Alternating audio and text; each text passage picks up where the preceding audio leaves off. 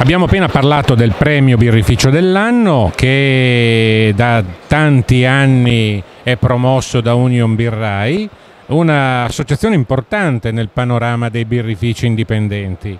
Eh, ne parliamo col presidente Vittorio Ferraris, eh, Union, Union Birrai. Qual è la sua attività? Beh, Union Birrai innanzitutto è l'associazione di categoria dei piccoli produttori indipendenti artigianali una, una, categoria di, produ di, produttori in Italia che sono tutelati da una legge perché noi abbiamo una norma che prevede che cosa sono i piccoli birrifici indipendenti, che sono i birrifici con una produzione inferiore ai 200.000 ettolitri e che hanno una indipendenza economica e legale da qualsiasi altro birrificio. Quindi sono due concetti importanti che sono la dimensione e l'indipendenza. Poi la loro birra è definita artigianale nel momento in cui non subisce i processi di pastorizzazione, di microfiltrazione che sono processi tipici dell'industria. Un'associazione di categoria che oggi eh, ha al suo interno circa 350 associati, quasi un 40% delle imprese oggi presenti in questo comparto in Italia.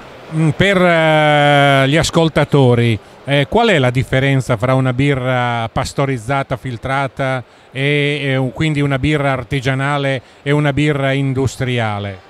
Beh, diciamo che questi due processi sono due processi che chiaramente modificano le caratteristiche organolettiche del prodotto perché sono due processi che vengono utilizzati per dare stabilità al prodotto e lunga conservazione e ovviamente uno degli obiettivi principali è quello di entrare in un comparto di distribuzione che permetta dei tempi molto lunghi nell'attività commerciale di vendita. È ovvio che la birra non pastorizzata e non filtrata ha delle caratteristiche organolettiche ovviamente più ricche perché mantiene tutte quelle appunto quei requisiti che noi cerchiamo nel prodotto in termini di aroma e di sapori. Dall'altra parte è ovvio che la penalizzazione sta nella, nella, nella sua shelf life, no? quindi nella durata del prodotto e soprattutto nell'attenzione nella sua conservazione, nella distribuzione. È un limite grosso perché chiaramente non si può accedere a quella larga distribuzione che prevede regole completamente differenti. Il mondo della birra in Italia ha sempre sofferto una presenza del vino, è sempre stata eh, come posso dire, la sorella povera, la, so la sorella più giovane eh, rispetto al vino. Negli ultimi anni eh, invece eh, sta assumendo una popolarità, eh, sta assumendo un, un, ruolo che sicuramente eh, se la gioca alla pari col vino. sono possibili ulteriori sviluppi? Sono sicuramente possibili. Guardi, questo fenomeno che lei ha descritto perfettamente deriva dal fatto che noi siamo un popolo comunque abituato a bere vino, noi non abbiamo una tradizione birraria in Italia, contrariamente a tutti gli altri paesi europei che invece hanno una grandissima tradizione. Questo si traduce anche in un consumo molto più basso rispetto al, agli altri paesi. Devo dire che negli ultimi vent'anni, anche con l'avvento del mercato artigianale che ha portato un concetto di diversità, cioè ha portato al consumatore italiano prodotti completamente nuovi, in un concetto di ricerca e di innovazione, per certi versi anche andando a riprendere stili che nel resto dell'Europa sono presenti da anni. Quindi diciamo che il consumatore oggi si è avvicinato a un prodotto completamente diverso da quello che conosceva prima, no? perché noi nell'immaginario comune la birra che cos'è? Quella bevanda da 5 gradi, chiara, frizzante eccetera.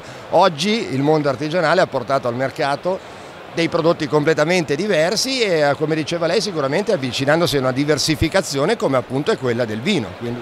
Questo comporta anche che il consumatore da semplice consumatore diventi un consumatore culturalmente vicino al mondo della birra. E questo è l'altro grande impegno di Union Birrai, cioè la nostra associazione che è proprio quella di promozione, divulgazione e formazione.